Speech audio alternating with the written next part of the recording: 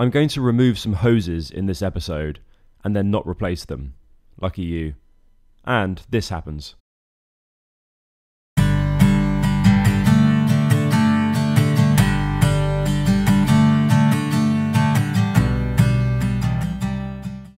Alan's cooling system is in need of a sprucing up before heading to sea. Why? Firstly, the hoses are old. I also need to check the anode, and that demands that I drain the coolant, plus I want to enhance the survivability of the whole system too. I measured all the hose external diameters before removal, as I had this dreamlike ambition of efficiency that would see the new hoses able to go on moments after the old ones came off. Soon I realised the gauges and specs from Alan's original outfitting were a hodgepodge of types, so there would be no way to make sure that I was ordering the right ones. Some had thicker walls than others. We have to head outside briefly. Back in the day, plan number one was to remove this keel cooler and install a new one inside a protected conduit. Like all rubbish plan number ones, that's shelved, and instead I'm making a reinforced shield for it this coming winter. Part of that decision necessitated a check that this is a tough copper nickel cooler and not a softer, cheaper copper. Sanding back through the protective oxidation layer reveals a silvery colour, and so a thumbs up on that count. The bare surface will return to normal after a few months. We need to gravity drain the cooling system. There are two bolts, and neither are at the absolute lowest point of the coolers, but it's my only option. Unless I had Alan lifted and tilted back. I lack the budget for such tomfoolery, and so I implore the few of you who haven't to join Alan's army and or get Alan's shirts, stickers and hats. The cooling system is not detailed in the engine's handbook, so some of this will be guesswork. Anyhow, I unscrewed the bolts. I won't lie, I wasn't overwhelmed at the resulting torrent. You are now observing what I'm confident will come to be known as the Big Drip. There's at least a couple of gallons of water in the system, so this may take a while. At least the water and coolant appears pretty clear, and not like the runoff from a mud heap. But, with some fiddling upstairs, Alan's stage fright ceased flow at last. I knew there must be some water trapped in the many twists and turns of the cooling system, but we got half a bucket out. I could start the disassembly in the engine bay. I thought I'd start on the easier port side. This is a simple bypass with a preheater mounted on an arm. This is so if the engine is started with the lifeboat suspended on davits out of the water in a cold winter, and so the coolant fluid well below 0 degrees centigrade, it doesn't zoom into the engine and upset it. We don't need this, as Alan will always start up when in the water, which is of course warmer than cold winter air. The assembly is bulky and in the way too. Plus, the heater is 42 volts AC, and we don't do 42 volts AC on board Alan. The hoses start to come off, and the first does not bode well. Really well stuck on, and I decided to go for the famed slice, cut, and chisel technique to get it off.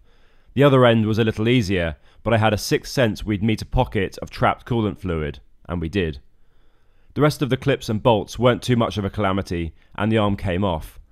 I cleaned the heater up and stuck it on eBay. New Bukh ones retail for thousands of euros, quite why I don't know, but we'll see how we do. There was also a now freed bolt that held the heater's arm onto the engine, and I think it actually holds the engine together too, so I cleaned it up, I popped it back on again with a Nord-Lock washer, a good tightening with a ratchet, and a dollop of red paint. There's also a slight chance that this brief excursion for the coolant out of and back into the engine is parallel to another internal path, and so I could merely plug both ends, but I can't take that risk if mistaken and block the circulation. The other side of the engine is rather more complex, and so I don't get confused once it's all free, my labelling escapades are evident to all. The smaller hoses came off without too much drama, although now they've stiffened, it can be a little like doing a 10 point turn in a car forward, backward, forward, backward, forward, backward.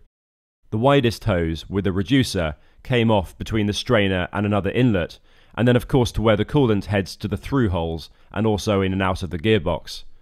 You can see two of the hoses have been in contact and chafing badly, so this needs attention. It'll be no surprise to anyone, but literally the final Jubilee clip I came to was kaput. Dead. Rusted. Seized. Suboptimally operational. Naturally, and never one to overreact, we've gone for the grinder, which is what it was born to do.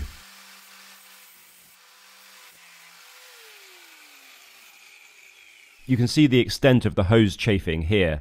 Not the best installation if we're to be brutally honest, and documenting the demise of said Jubilee clip. There's a top loop that goes from the other side of the gearbox to a through hull, and with that you can survey the carnage. Lots of clips to salvage though, so that's something. There's also this copper pipe that runs from a rubber attachment at the front, back, and to the chafed hose leading to the gearbox. It's not ideal, perhaps in need of support, and Alan's creators roughly gouged a corner of fiberglass to bodge out some room for it back in the day. That's pretty much the disassembly and general sorting out completed, and I'll show you the reassembly, enhancements, and general neatening up in due course. But first, there was another job to tick off. There are some large, painted over bolt heads on the starboard side of Alan's engine. Let's see what sort of state the engine's anode is in. It could be completely gone, or it could be literally as new. No idea at all.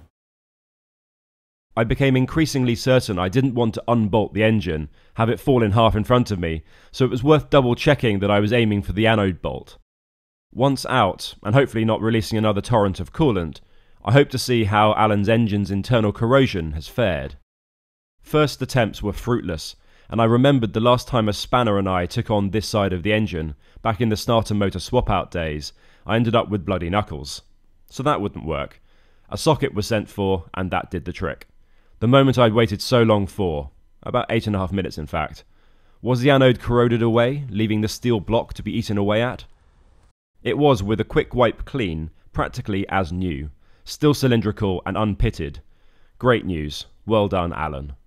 I decided to leave the original in place and keep the replacement as a spare. Putting the anode back in couldn't be a slapdash affair though. Without a good seal, it might leak, and I'll have created a new headache. The copper washer wasn't a crush washer, and it was flawless, so I kept it, and instead just cleaned the threads, checked for dried flakes of paint, and applied a bead of Hylomar sealing paste. Back in, tight, painted, and done. Next time we'll deal with some smart looking valves, put everything back together, and I'll decide not to get one of these.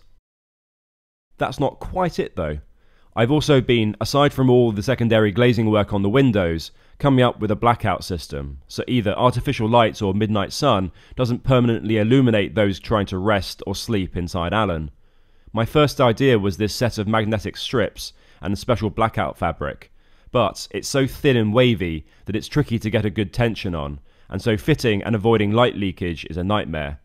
I have one solution in mind, but in the meantime, do you? Bye.